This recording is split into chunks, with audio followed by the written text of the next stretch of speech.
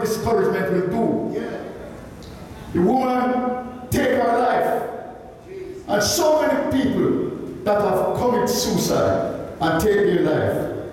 Well, I'm trying to find a scripture, and if you don't find it, we'll do it another time. But there's a scripture that I came across, and it's um, Proverbs 31, verse 8 and 9. He said, when somebody is down and out, you have to cry for them. You cannot remain silent when somebody is going through problem.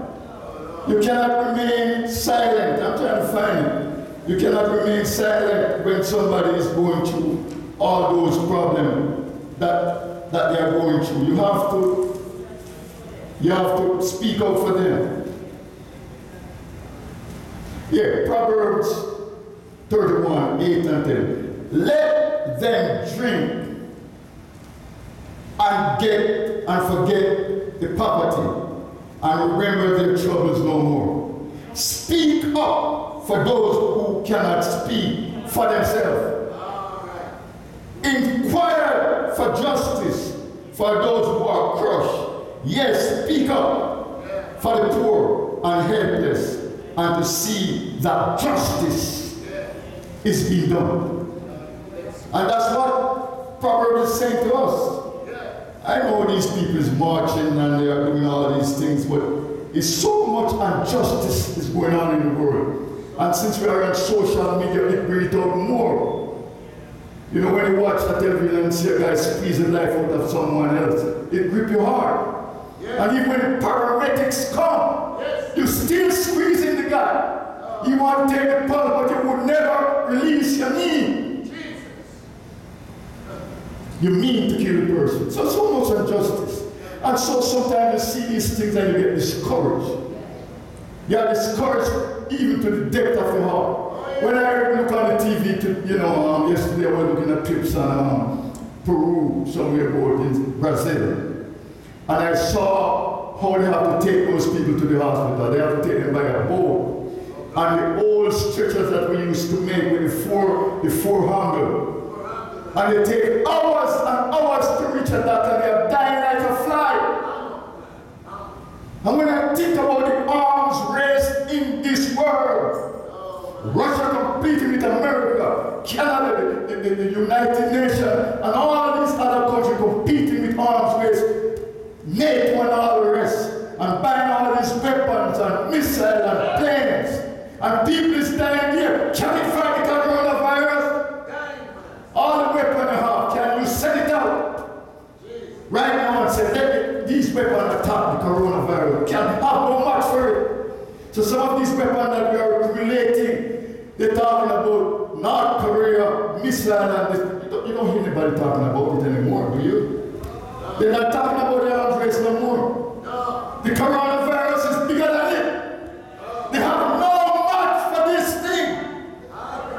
All the money they spend buying all these weapons, ammunition, it, it better they invest it in medical and even help the poor people to live. But they spend money wrestling against each other and don't have no use. And in, in the last days, there, that's the same thing will happen.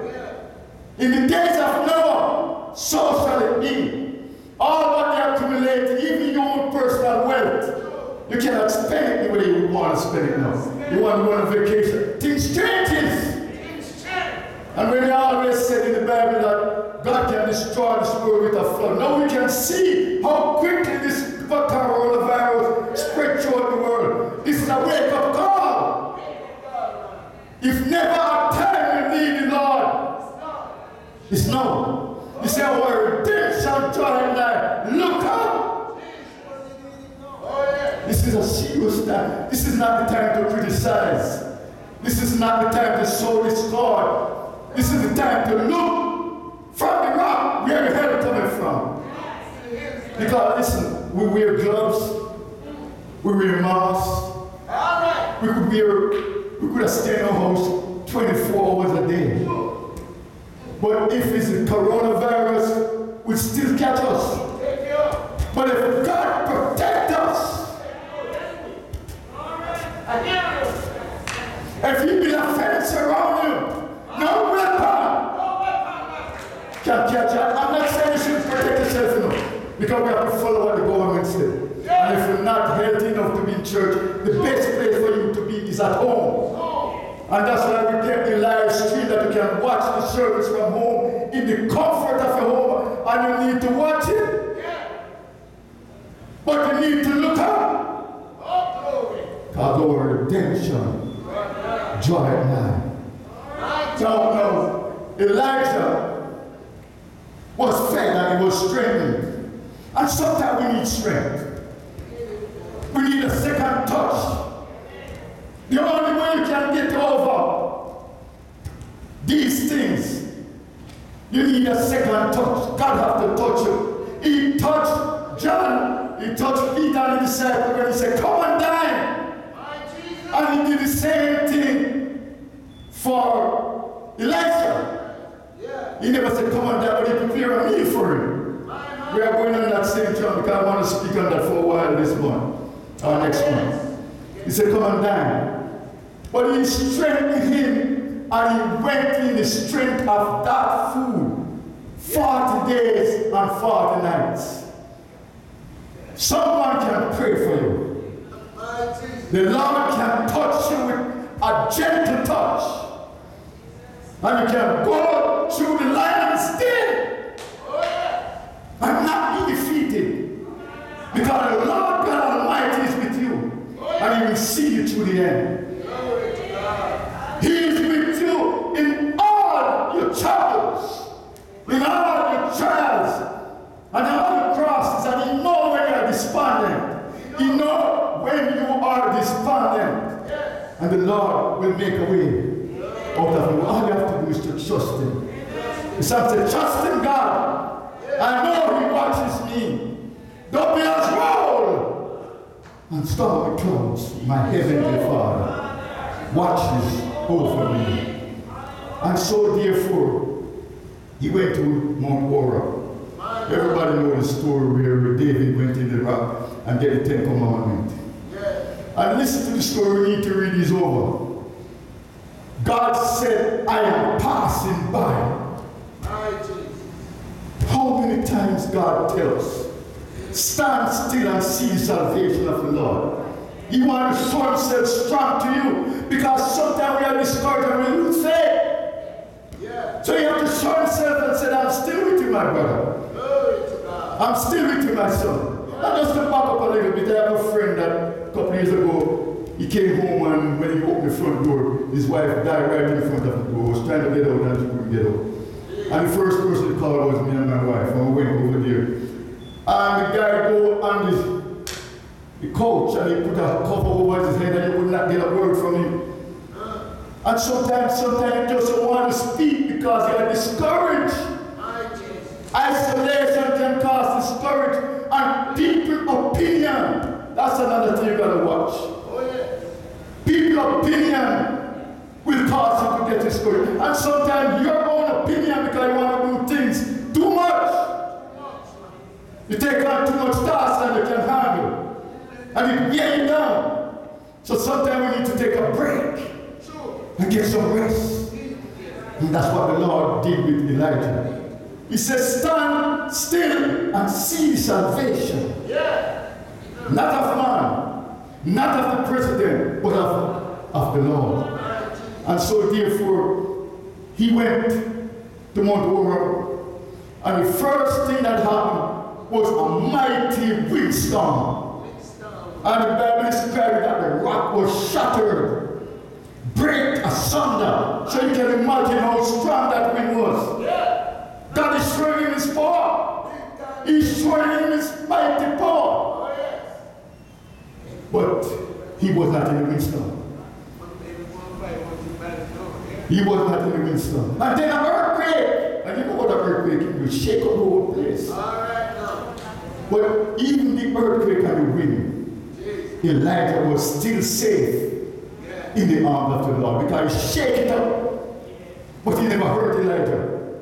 He will shake everything and you will remain standing in spite of the shaking that is going on around you. Yes. Shake up the mountain. But Elijah was not harmed. And then he a fire.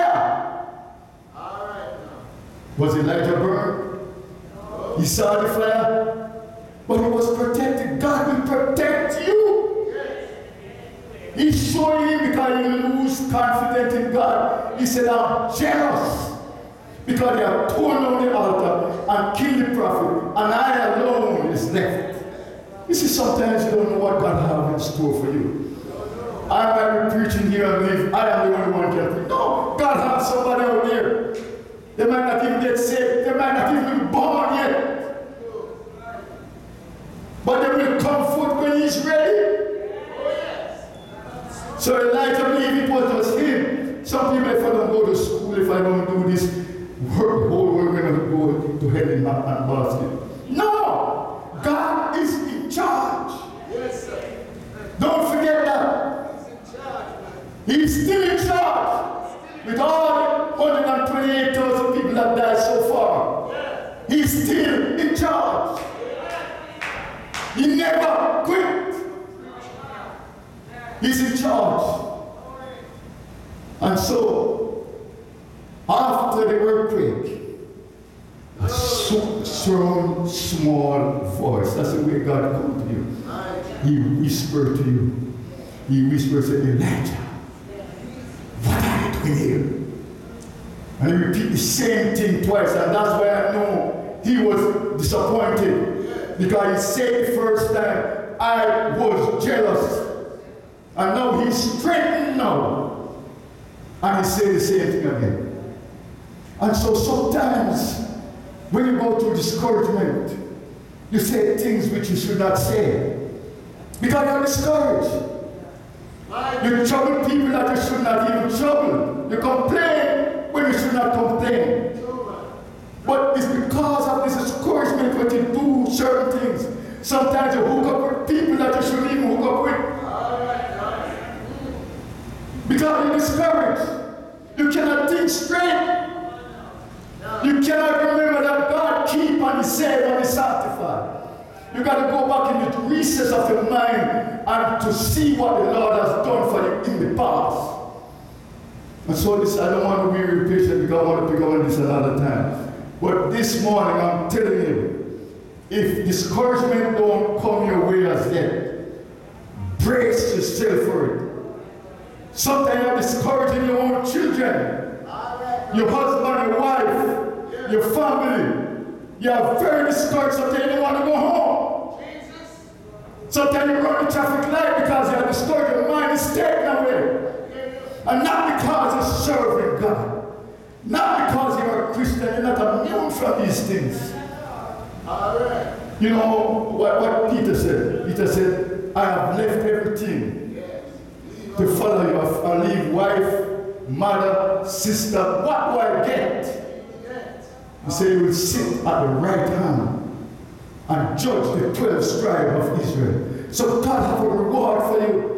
When you work hard, when you toil, and you see that there's no fruit in your labor, don't give up. Because joy coming in the morning. You might put everything you want into your family, and they abandon you. But still, hold on to God unchanging hand. Because this world going around in circle. I was thinking the other day and I said, when you reach certain age and your life doesn't worth anything anymore. You don't fit into life anymore, Bishop. When you speak about it, you come that somebody to hold you by your hand and lead you where you don't want to go. There come times when you all by yourself and take your driver's license. Everything happens, and then you get discouraged. But if you have the word of God written down in your heart,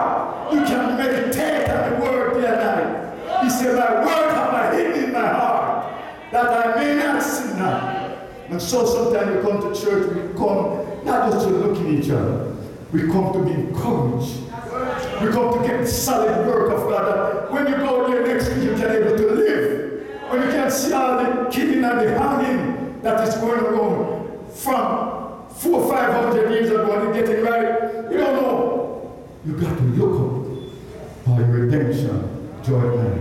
I just want to close with this little song. Why would you feel discouraged? And I want to pray for someone this morning, this afternoon rather. Why should the shadows Why Good start, should I feel this courage? Why